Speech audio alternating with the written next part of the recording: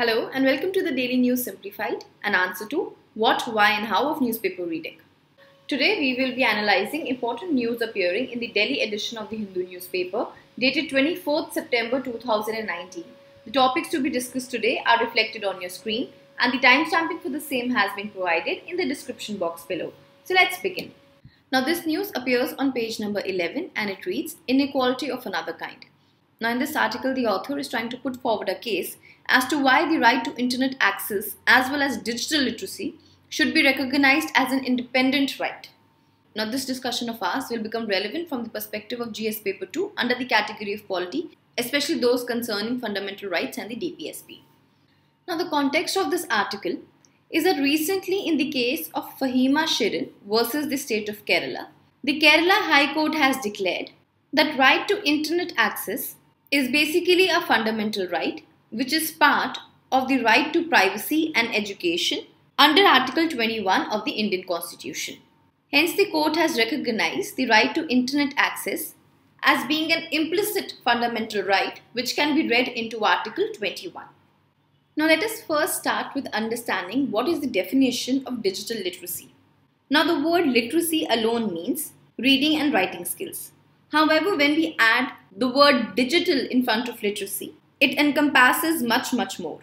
Now, given the new and the ever changing ways with which we use technology to receive and communicate information, digital literacy means a broad range of skills, which includes everything from reading on a Kindle to calculating the validity of a website or, or creating and sharing YouTube videos.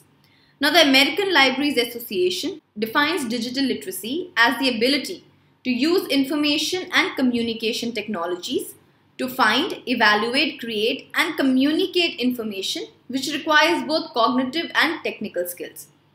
Now, remembering this definition is not important. I've just mentioned it so that you have an idea what, what exactly do we mean by digital literacy. So, in a layman's term, digital literacy would mean an individual's ability to find, evaluate, or compose clear information through writing and other mediums on digital platform. Hence, in digital literacy, digital platforms become the medium through which we are consuming and conveying information. Now, in this article, the author has laid emphasis on the growing digital inequality in India. Now, digital inequality or digital divide can be simply understood to mean uneven distribution in access to or use of information communication technology which will include access to internet, the ability to use internet, computer network, broadbands, etc. Everything which falls under the ICT.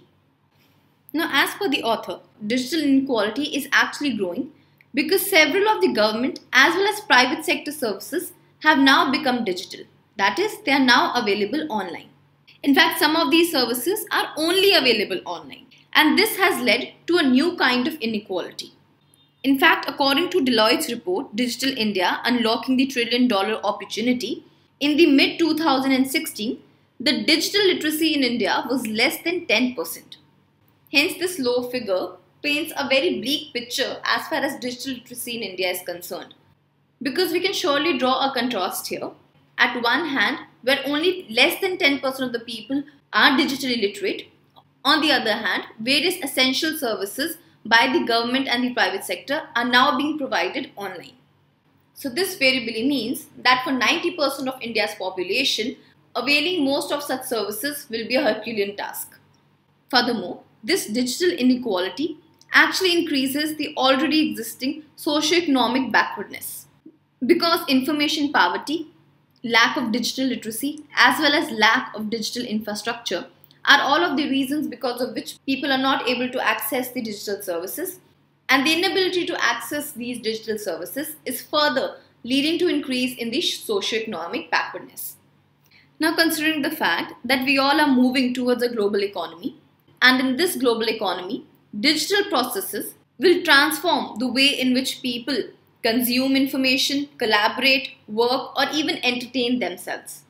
And though providing people with services online does have a lot of advantage for the government, however, considering the fact that in India there is absence of digital literacy and internet access for most of the people, this absence will actually lead to the exclusion of a huge chunk of population and will further widen the already existing digital divide. Now coming to what are the issues related with digital literacy. Now the major issue involved is the economic cost. As per the author, the government's decision to make governance and delivery of services online without first making internet accessible or improving the digital literacy will actually lead to increase in the cost of the government expenditure. Let us understand this with the help of an example. You all must be knowing about the common service centers which have been established in the rural and the remote locations. Now these common service centers are basically physical centers which help in deliver digital government services as well as informing people about the government initiatives. However, creating such common service centers requires the government to spend a lot of money on infrastructure, manpower, etc. So though at one hand the government is trying to save resources by making services online, however at the same time the government now has to spend more in the way of these common service centers because the people are unable to access the digital government services. Now we have to understand one thing that access to internet and digital literacy are both directly correlated. That is to say, there can be no digital literacy if people do not have access to internet. And furthermore, this access to internet in turn depends upon digital infrastructure. Because obviously, providing internet does require minimum digital infrastructure, whether it is in the form of optical fiber network or in the form of broadbands, etc. Till, till the time we do not have the requisite digital infrastructure, people will not get access to internet. And if people do not have access to internet, they will never become digitally literate. Now, though the government has acknowledged this correlation and has also initiated certain measures in this regard, however, all such measures are not enough. For example, the government has launched the BharatNet program, which aims to provide optical fiber network in all Gram Panchayats. Because it is this optical fiber network only which will act as an infrastructure backbone to the digital mission of India. However, this BharatNet program has been continuously missing its deadline and at the same time the costs which are involved in its installation are increasing. Second initiative mentioned by the author is the National Digital Literacy Mission. Now here again, this mission has only touched just 1.67% of the population and furthermore it is also struggling with the lack of funds. Therefore, despite the fact that the government has taken certain initiatives, however these initiatives are unable to bridge the gap of digital inequality. Next, moving on to what is the importance of digital literacy. Now, the Sustainable Development Goal, Target 4.4, speaks about increasing the share of the youth and the adults with relevant technical and vocational skills for a decent job. Here again, access to internet plays a very important role to improve the technical and vocational skills of the youth. Secondly, indicator 4.2 asks the country to track the percentage of youth and adults who have achieved at least a minimum level of proficiency in the digital literacy. So basically, target 4.2 speaks about tracking the people who are digitally literate. Thus, the mere fact that the digital literacy is included as a part of Sustainable Development Goals speaks about the importance of it. Moreover, according to the author, digital literacy will have much larger implication for the people beyond merely availing the digital services. Because as per the author, digital literacy will help people to navigate socio-cultural networks. As you all must be knowing, access to internet is just not to avail services of the government, but it also helps people to connect with one another, see what is happening all around the world, and basically help them to come out of their cocoon-like existence. So since people will be exposed to a new world, they will be in a better position to navigate their socio and cultural networks. Now the basic point of the author in this article was that though Kerala High Court has acknowledged right to access of internet as a part of a fundamental right, however the author feels that what is required is that this right to internet access and digital literacy should be recognized as a separate right in itself and should not rather be read into Article 21. Furthermore, the author is stating what will be the benefits if we include digital literacy and right, and right to internet access as a separate right.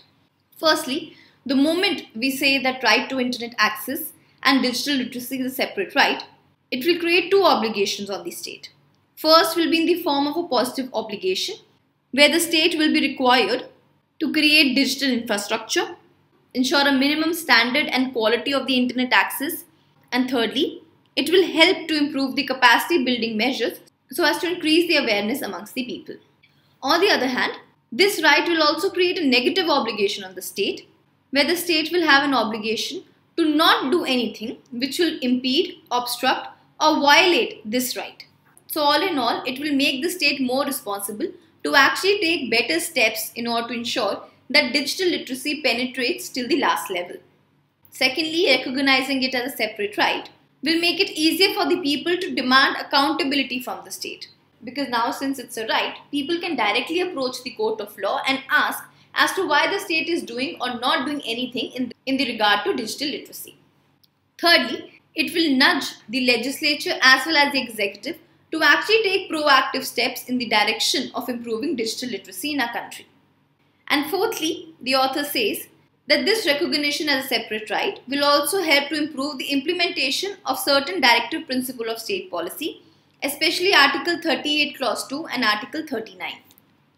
Article 38 Clause 2 says that the state should strive to minimize various inequalities amongst people, which include inequalities of income, status, facilities, opportunities, etc. Article 39, on the other hand, gives certain principles of policies which have to be followed by the state while they are making certain kind of laws. And these include that men and women should have equal right to means of livelihood, equal pay for equal work, health and strength of the workers, not concentrating the wealth and means of production into certain people's hand, etc. Because now it has become a settled principle that fundamental rights have to be read along with directive principles so that the scope of the DPSPs can be enhanced and enlarged. And lastly, the author has concluded this article by stating that today we are living in an information society. And in this information society, having unequal access to internet actually increases the social divide amongst people and leads to larger socio-economic exclusions. Hence, the time has come that we recognize right to internet access and digital literacy so that we can improve the situation and allow our citizens to an increased access to information services, which in turn will create better opportunities for livelihood. Now, based on our discussion of this article, please try and attempt this mains practice question. With this, let's move on to our next news. This news appears on page number 10 and it reads Making the Grand Indian PSB merger work. Now, the context of the news is that recently the Government of India has proposed to merge 10 public sector banks into 4 larger banks. Hence, in this regard, this article is raising concerns related to the mergers of the bank and accordingly is providing us with a set of recommendations to smoothen this process of bank mergers. Now, this discussion of ours will become relevant from the perspective of GS Paper 3 under the category of economy. Let us first begin with the risks and challenges. Now, if you have been following DNS regularly, you would know that we have spoken about the risks and challenges related to the mergers in length previously also. However, today again we will be talking about the risks and challenges but in a brief format so that you will be better able to correlate with the recommendations. Now the first challenge is the systemic risk. It has been argued that a failure of a very large bank may have adverse impact on the economy as was witnessed during the financial crisis of 2008. The 2008 crisis highlighted that presence of a large financial institution poses a systemic risk to the economy because such institutions are too big to fail. Therefore, it is argued that a failure of a large bank will be too big to handle. And in fact, if such an event occurs, the onus will then lie on the government who will have to come to the rescue of these public sector banks and bail them out, thereby creating moral hazards. Because here we need to understand that most of the times the banks are at a slippery slope because of their own poor lending practices. Hence, here it is also expected that if a bank continues with its poor lending practices, sooner or later it will run the risk of failing. And if such an event happens, then the government will have to come and pitch in, and this is wrong.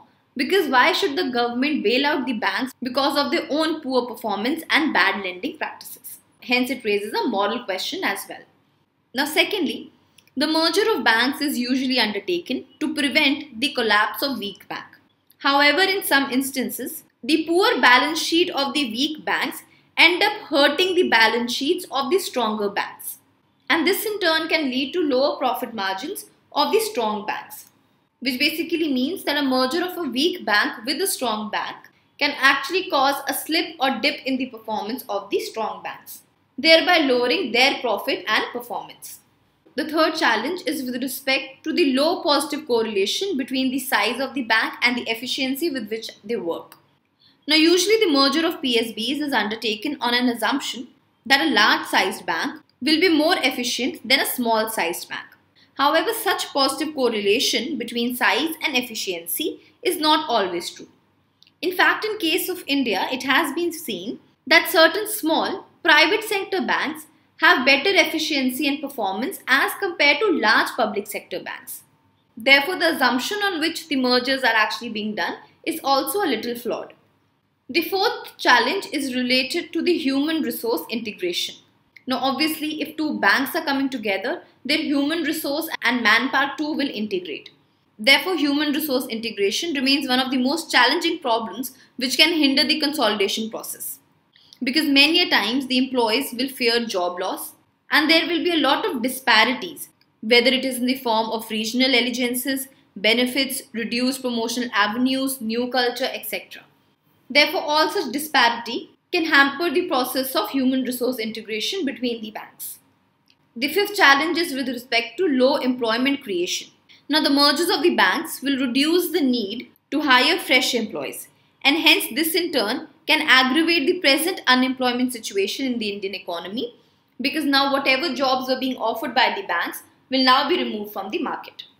The sixth issue is related to the credit creation by these banks.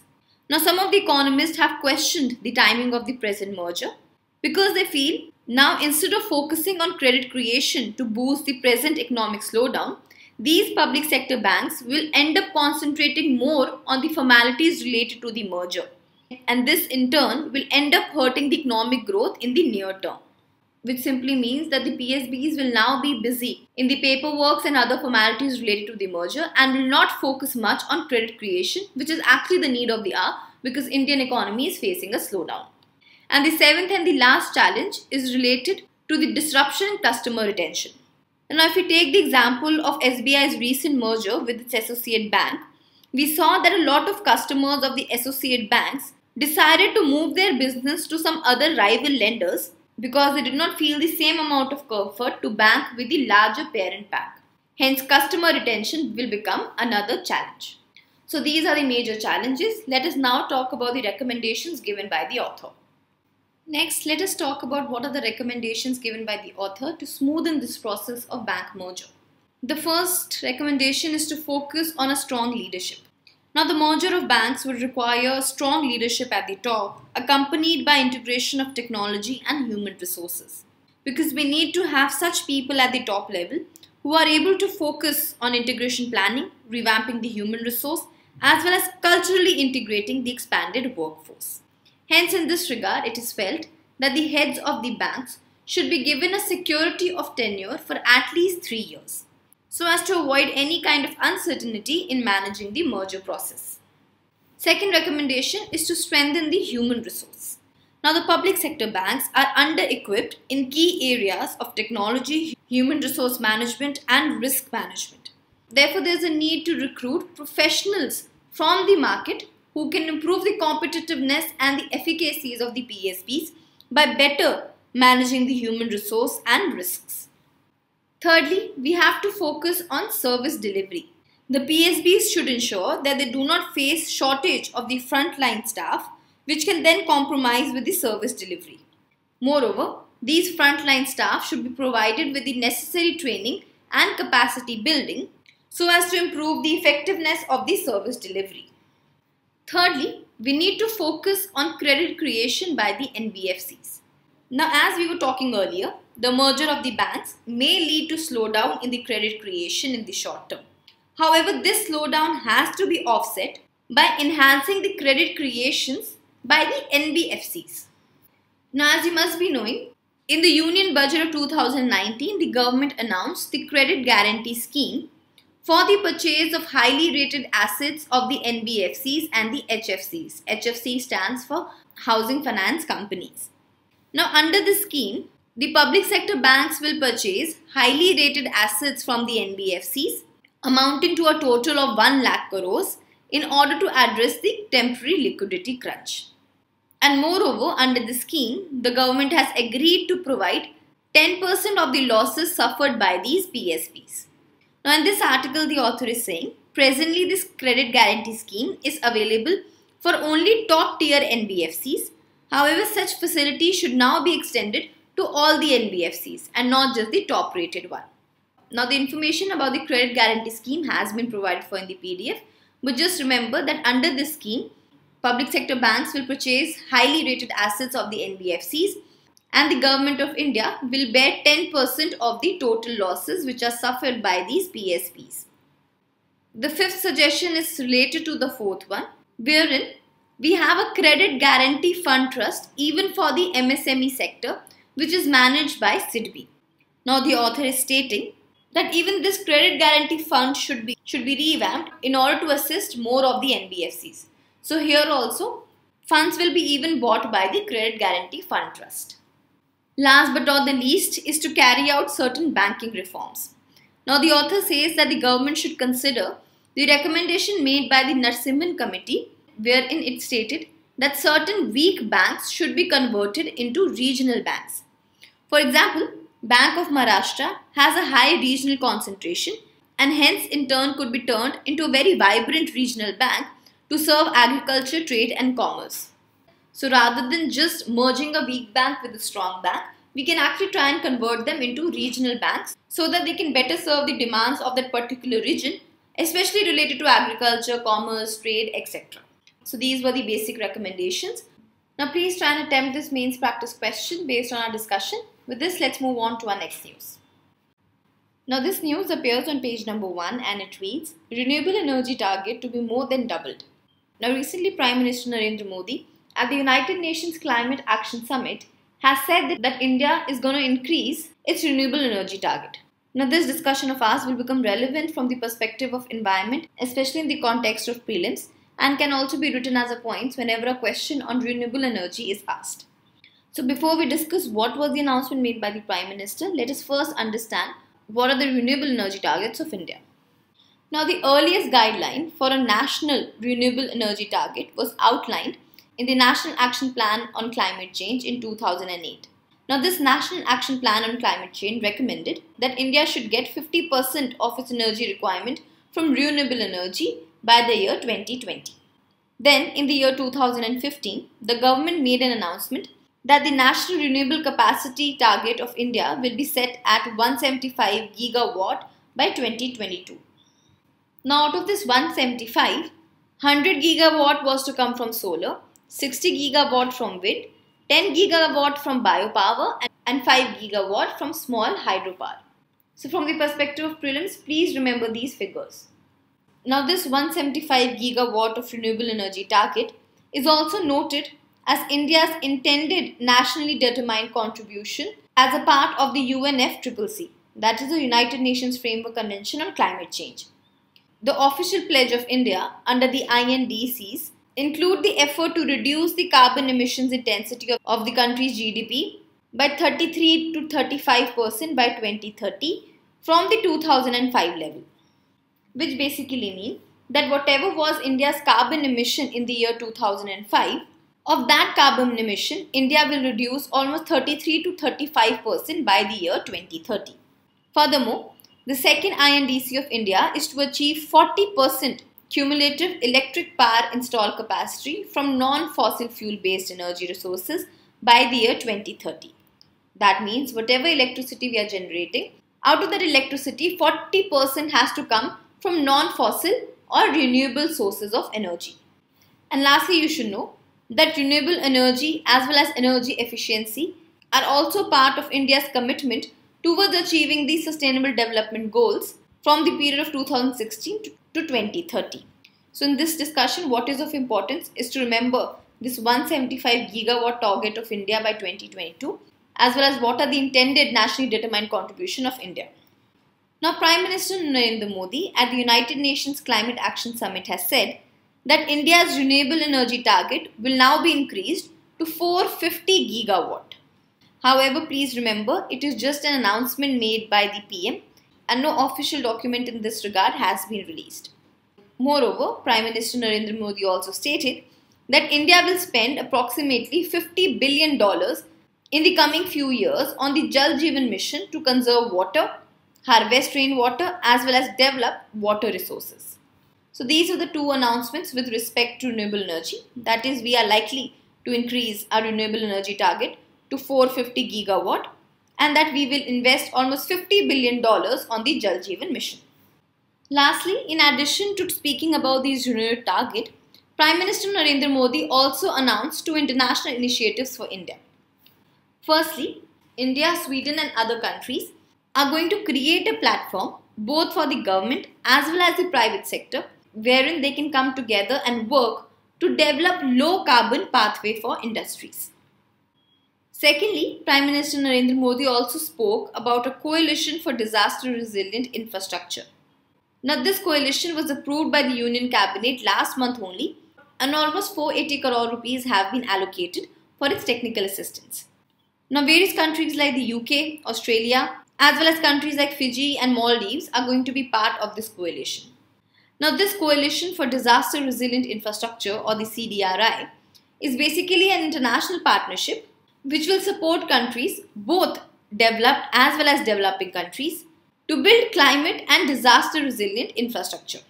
Now, this coalition secretariat is based in Delhi and is supported by the UNDRR.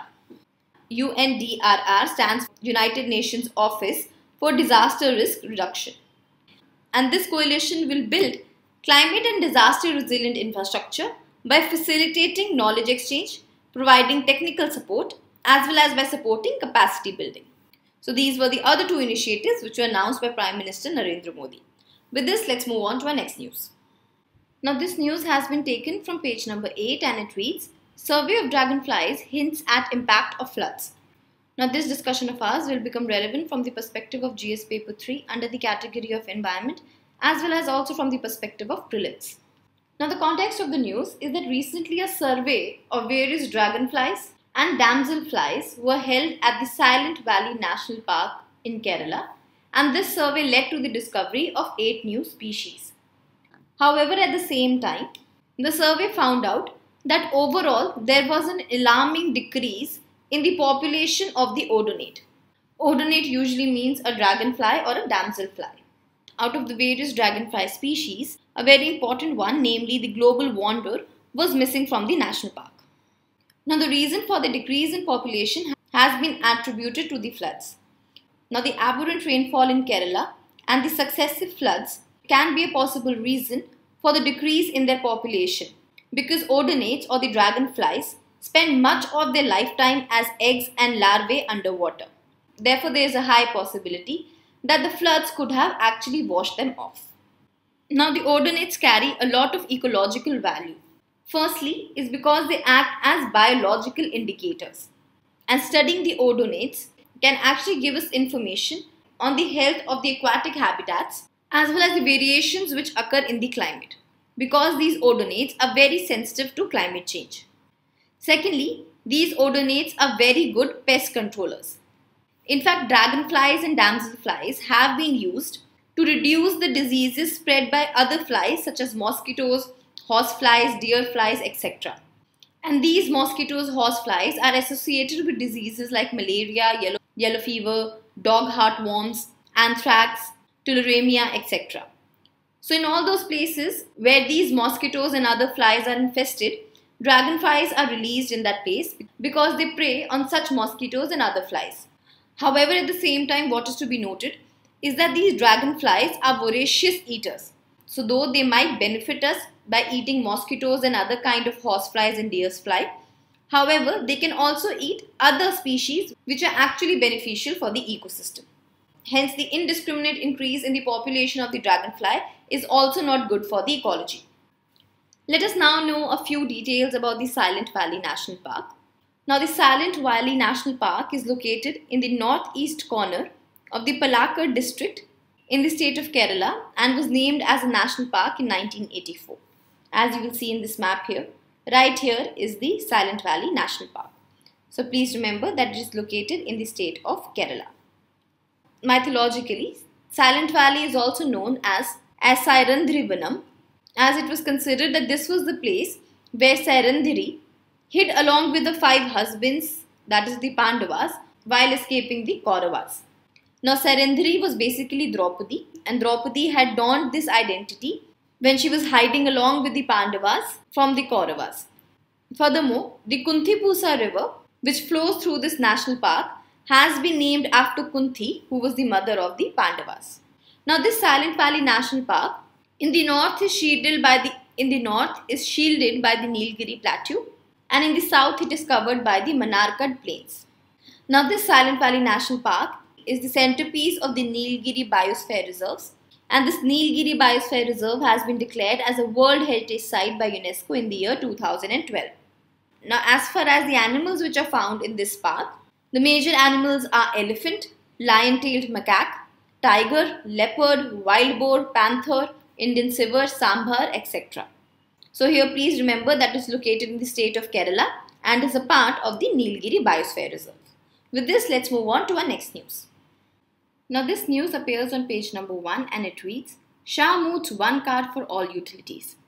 Now recently, Union Home Minister Amit Shah has proposed the idea of a common utility card which will have all the utilities like Aadhaar, passport, driving license and bank accounts linked to it.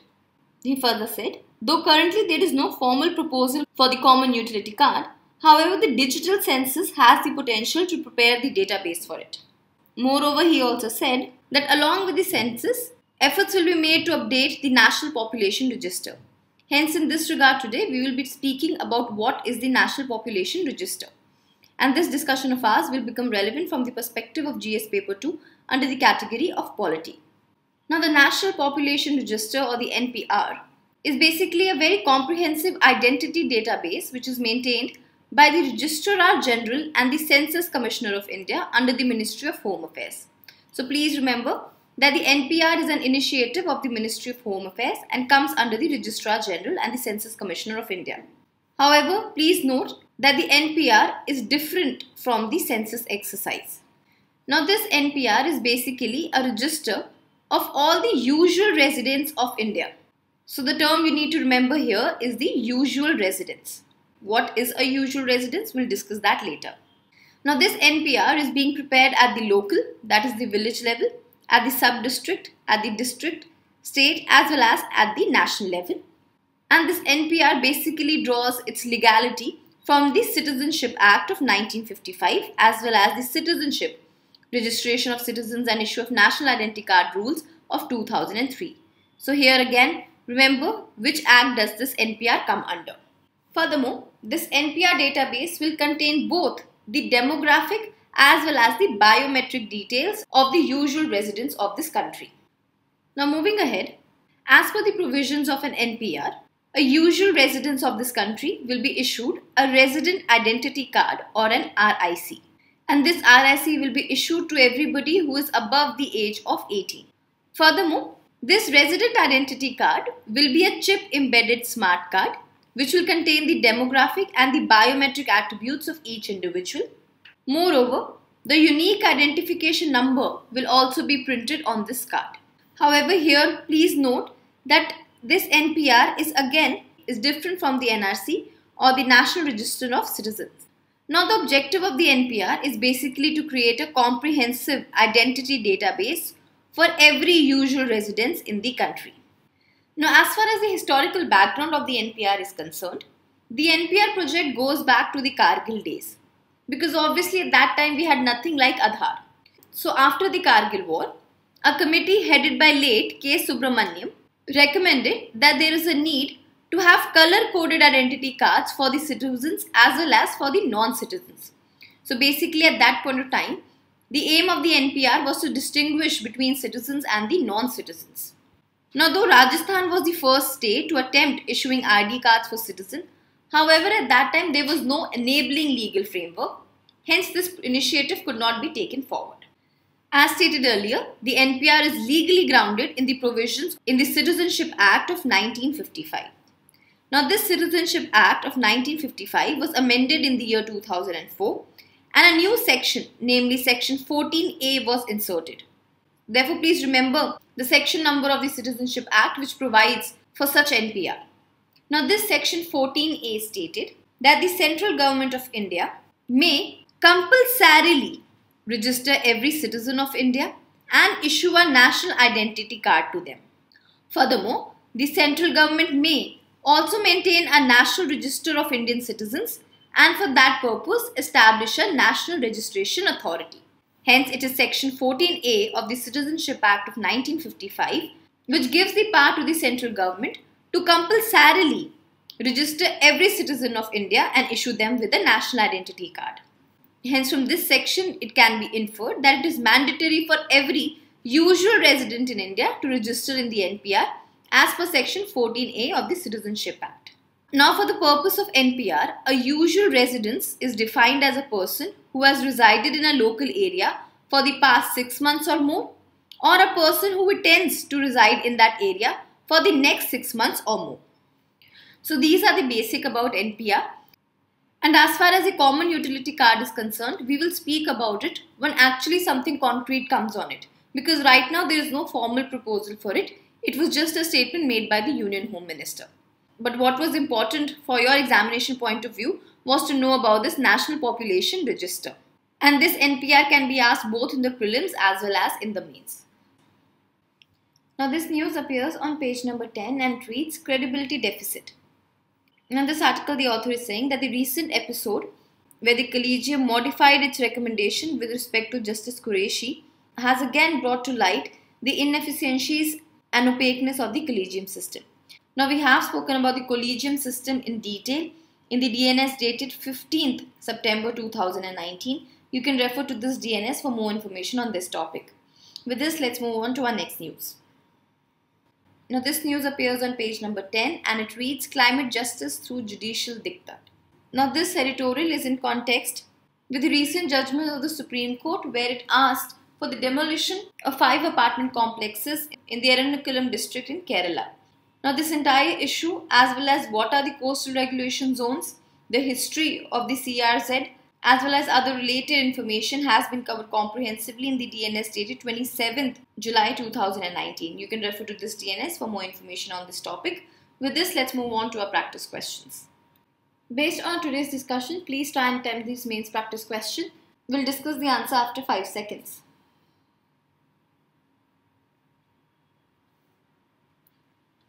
Question number one reads Consider the following statements about India's intended nationally determined contribution under the UNFCCC. The first statement Achieve 40% cumulative electric power installed from non fossil fuels. Now, this is correct. Second, reduce emission intensity to India's GDP by 33 to 35% by 2030 from the 2005 levels. This is also correct. Hence, the right answer becomes C, both 1 and 2. Question number two is with respect to the Silent Valley National Park. First statement, it is located in Tamil Nadu. This is incorrect. It is located in the state of Kerala. Second, River Kunthi crosses through it. This is correct. So the right answer becomes B, 2 only. Question number three is with respect to the National Population Register. First statement, it is legally grounded in the Census Act 1948. This is incorrect. It is legally grounded in the, in the Citizenship Act of 1955, especially Section 14A. Second statement includes both biometric and demographic details of the resident. This is correct. So the right answer becomes B, 2 only. Question number 4 reads, which of the following renewable energy source currently has the highest installed capacity in India? Now the right answer is B, wind power and not solar power. Solar power comes on the second number. With this, we come to an end for today's discussion. Let's move to the question for the day.